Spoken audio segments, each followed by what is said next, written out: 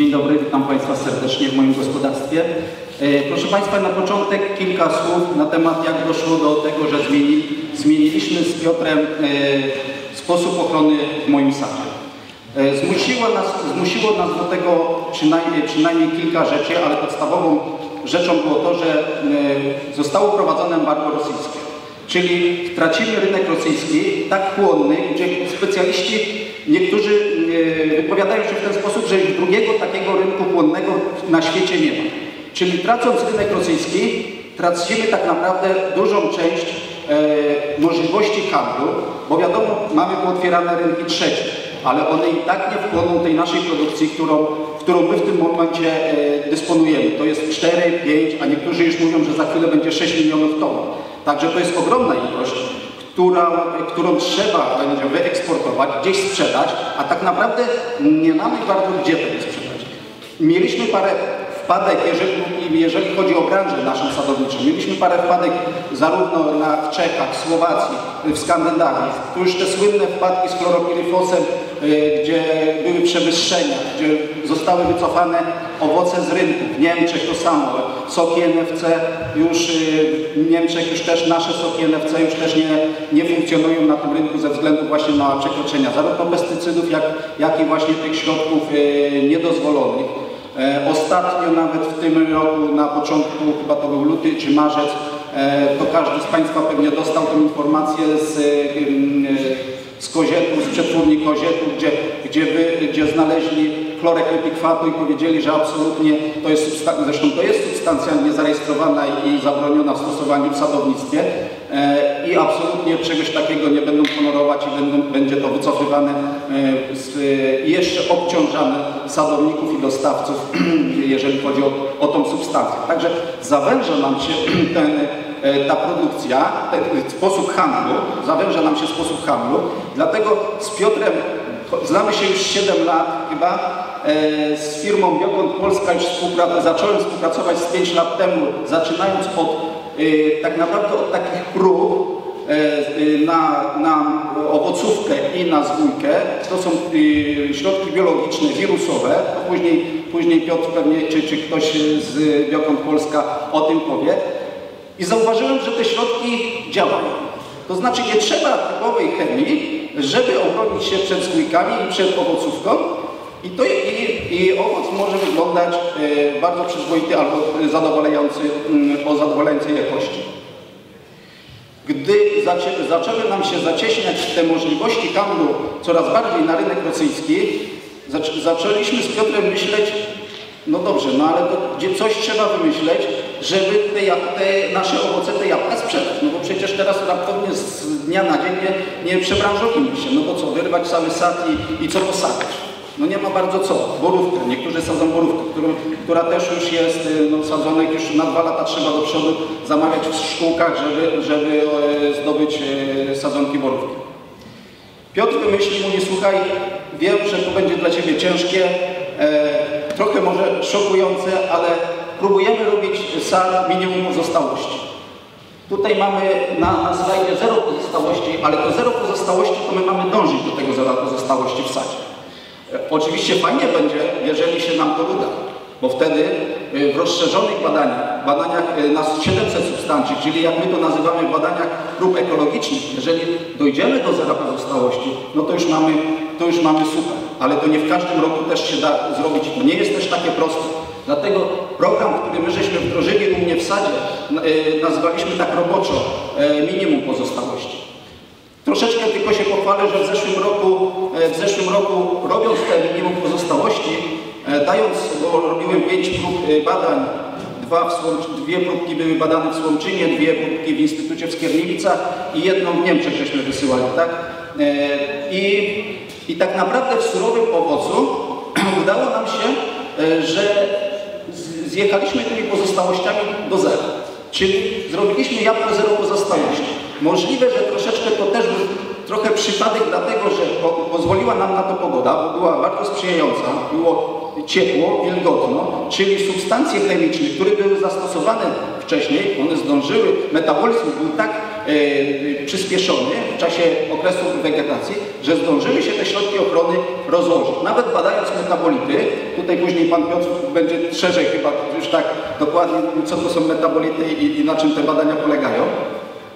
Badając metabolity, okazało się, że też doszliśmy do zera, czyli kaptan, badając DKP i kaptanu, osiągnęliśmy zero, ale tylko zaznaczam, na y, owocach surowych. Robiąc inne badania, troszeczkę wyszło inaczej. Na koniec Pan Piotr to powie, jak to, jak to wyglądało.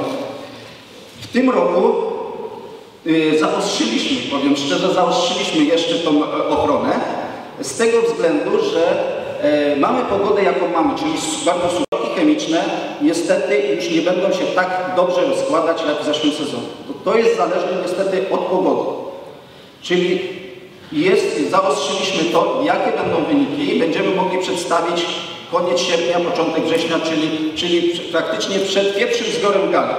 E, zrobimy pierwsze, pierwsze badanie już żeśmy zrobili, ale takie typowe badanie już pod odbiorców będziemy robili na koniec sierpnia, początek września. Wiadomo, że ten sezon jest e, przyspieszony, widzimy to i po truskawkach, i po wiśniach, że co najmniej, zresztą i, po kwit, w czasie kwitnienia to kwitnienie nie było jak zwykle pomiędzy 5 powiedzmy a 15 maja, tylko już się zaczęło około 20 kwietnia, czyli tak jakby mamy dwa tygodnie wegetację przyspieszoną w tym sezonie i zakładamy z Piotrem, że pierwsze, pierwsza przerywka gali prawdopodobnie też wyjdzie nam około 20-25 sierpnia, patrząc na tą pogodę, którą, którą obecnie. Także pierwsze badania już typowe pod odbiorców będziemy, będziemy robili y, koniec sierpnia, y, już tuż przed pierwszym zbiorem. Y, kilka słów, jak sprzedaje się takie, takie owoce. Osiągając w zeszłym roku e, ten poziom zero pozostałości, e, okazało się, że ten handel tym towarem jest troszeczkę inny, ale bardzo fajny. E, zaczęliśmy, Piotr zaczął współpracować i zapoznał mnie z firmą Ewabis, którą, która też tutaj będzie mogła przedstawić Państwu, jak to się odbywa.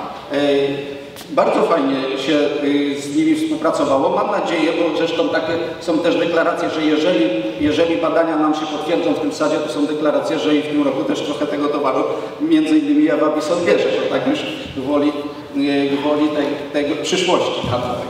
E, w każdym bądź razie, proszę Państwa, jakie wyjdą nam y, końcowe badania, okaże się, okaże się powiedzmy gdzieś pod koniec sierpnia, po 20 sierpnia. Bo no niestety, pogodę, powtarzam, pogodę mamy taką, jaką mamy, czyli naprawdę ten, ten rozkład substancji jest bardzo powolny, albo nawet jest wręcz zatrzymany. Gdyby, gdy nam się coś pogoda zmieni, czyli przyjdzie więcej opadów deszczu, ten metabolizm owoców będzie troszeczkę przyspieszony i zakładamy, że, i zakładamy, że wtedy rozkład typowej chemii będzie szybszy. Zastosowaliśmy tutaj, w większości zastosowaliśmy te środki, e, my to ich tak nazywamy środki biologiczne, czy to na zwójkę, owocówkę, czy nawet na mszycę i na parki. Z czym był największy problem, to tylko ja tak skrótowo, później, później panowie będą to rozszerzać. Y, mając taką suchą pogodę, niestety największą, największy problem mieliśmy z mszycą i mamy nadal z mszycą. Nie mam się co oszukiwać. To nie chemia, że objedziemy, opryskamy na drugi dzień, chemia yy, mszyca już nam spada. Chociaż, chociaż e, w tym roku i sady chronione chemicznie też mają problem z mszycą. Możliwe, że nawet jeszcze większy niż, niż my. Ale mówiąc uczciwie, yy, walczymy z tą, mszycą. E, udaje nam się ją hamować, nie do końca, znaczy nie widać tego tak w sadzie, że ona, bo nie zrobiła żadnych e, zniszczeń, jeżeli chodzi o jakość owoców, nie zrobiła żadnych zniszczeń, ale to było spowodowane tym, że trzeba by było troszeczkę e, więcej zrobić zabiegów środkami tymi biologicznymi, które akurat ja się opieram w 100% na e, preparatach Biokąt Polska, dlatego że no, nabrałem zaufania do Piotra i jak mi mówi, że mam tym zrobić, to ja, ja mówię, że i to robię. No tutaj Podobno na, na, na rynku zaraz mają się też pokazać inne środki. Ja już miałem różne propozycje. Nie skorzystałem i chyba na razie nie skorzystam, bo jak mam przekonanie e, do tych środków, które stosuję, to, to nie będę zmieniał po prostu. Cóż, może na, na tą chwilę, e, na tą chwilę tyle. Później przejdziemy do sadu, zobaczycie Państwo, e, jak wyglądają owoce. Tutaj zaraz mamy za budynkiem przechowali zarówno galę. Zobaczycie, że jednak na gali da się wyprodukować galę, nie, która nie jest ordzawiona. Dalej mamy Red Face'a. Na Jona Golda, powiem szczerze, zauważyłem e, siatkę, czyli to ordzawienie. Tak naprawdę nie, wiem- nie wiem, nie wiem Piotrze, z czego to się wzięło. Mamy przypuszczenia jakieś tam, a z czego mogło się wziąć, ale do końca nie jesteśmy pewni. Tuż za, za tą ścianą jest nowa odmiana e, Muna e, ze szkółki Szymona i Andrzeja Nowakowskich. To jest nowa odmiana polska i przetestowałem, że ta odmiana, ona jest fajną odmianą, bo jest typowa odmiana czerwona, która jest podobna do Red Prince'a, ale to nie jest Jona, to nie jest sport Jonagoldów, czyli smakowo różni się od Jonagoldów. Jest moim zdaniem, i oni też to y, robili badania konsumenckie, które wypadły bardzo dobrze, y, smakowo ta odmiana się różni, jest dobra. I okazało się, że tą odmianę też można e, chronić, tak jak, jak inne te odmiany, czyli typowo biologicznie, zrobić to minimum pozostałości, dążąc do zera pozostałości, a jest to tak y, odmiana obiecująca, bo jest naprawdę fajna, jeżeli chodzi o wygląd, wybarwienie, podobna do Red Prince'a, ale to, to jednak nie jest sol Jona Gold. To jest coś nowego.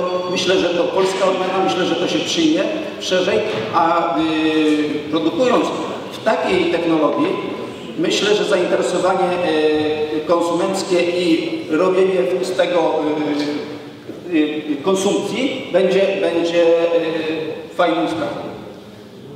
Proszę Państwa, ja na razie tyle. Jeżeli